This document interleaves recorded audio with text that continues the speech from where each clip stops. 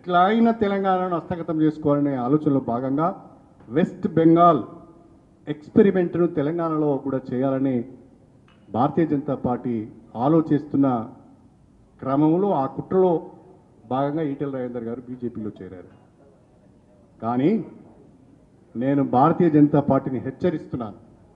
West బెంగాల్లో ఏవైతే చెంపదెబ్బలు పడ్డాయో ఏవైతే ముక్కు మూతి పలిగిందో అదే ఫలితాలు తెలంగాణలో బీజేపీకి పునరావృతం అవుతాయని చెప్పడంలో నాకు సందేహం లేదు.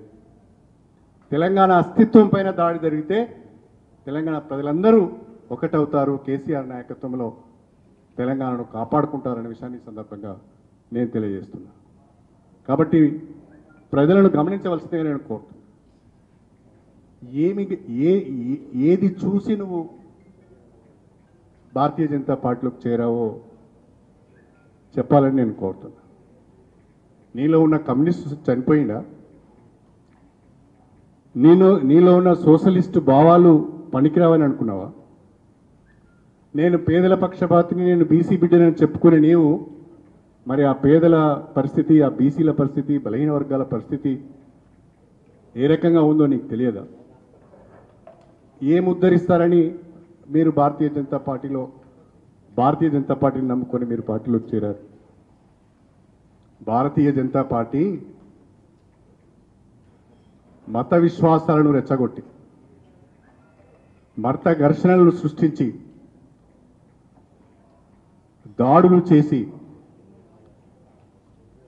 అధికారాన్ని అడ్డం పెట్టుకొని నాయకుల పైన కేసులను అడ్డంగా పెట్టుకొని బ్లాక్మెయిల్ చేసి లొంగ తీసుకునే పరిస్థితిని లోపరుచుకునే పరిస్థితిని మనం గమనించడం లేదా? వేల కోట్ల రూపాయల ఆస్తులు వందల ఎకరాల భూములు గడిలను మించిన ఒక ప్యాలెస్ లక్షల మందితో కూడిన నీ పిల్లల వివాహ కార్యక్రమాలు. ఇవన్నీ ఏ సోషలిస్ట్ భావాలు? ఏ కమ్యూనిస్ట్ భావాలు ఇవి? ఫ్యూడల్ ఆలోచన విధానానికి ఉదాహరణలుగా లేవా? పక్కా ఫ్యూడల్ వ్యవస్థలో నువ్వు ఉన్నావు. ఫ్యూడల్ లక్షణాలన్నీ కూడా ఎప్పుడో ఒకప్పుడు కమ్యూనిస్టు కావచ్చు కానీ ఈరోజు మొత్తము ఫ్యూడల్ లక్షణాలన్నీ కూడా నీలో ఉన్నాయి. ఫ్యూడల్కి ఉండవలసిన భావాలు ఆస్తులన్నీ నీ దగ్గర ఉన్నాయి. నువ్వు వేల కోట్ల ఆస్తులను కూడబెట్టుకోవడం వందల ఎకరాల భూములు కొనుగోలు చేయడం ఆక్రమించుకోవడం బ్రహ్మాండమైన ఒక ప్యాలెస్ నిర్మాణం చేసుకోవడం లక్ష కోట్ల రూపాయలు ఖర్చు పెట్టి వివాహాలు చేయడం. ఇదంతా ఏ మనస్తత్వానికి కారణమో ఏ రకమైన ఆలోచన విధానికి ఇది అద్దం పడుతున్నదో నువ్వు సమాధానం చెప్పాలి. వేరే వాళ్ళని విమర్శించే ముందు నువ్వు కూడా సమాధానం చెప్పాలి. సో ఇట్లా లాక్డౌన్ అనౌన్స్ చేసిండ్రో లేదో పొట్ట తిప్పల కోసం పొట్ట తిప్పల పడేటోళ్ళు ఎట్లా బతకాలరా దేవుడా అంటే మీకు కొంతమందిని చూపిస్తే ఇప్పుడు.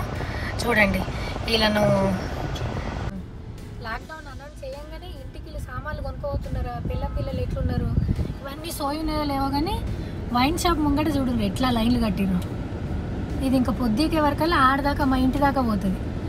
వీళ్ళకి ఇంకా ట్రాఫిక్ జామ్ చేస్తారు ఇట్లా. పోలీసులు కావాలి. ఆ పోలీసు వాళ్ళు కావాలి ఉండాలా వాళ్ళు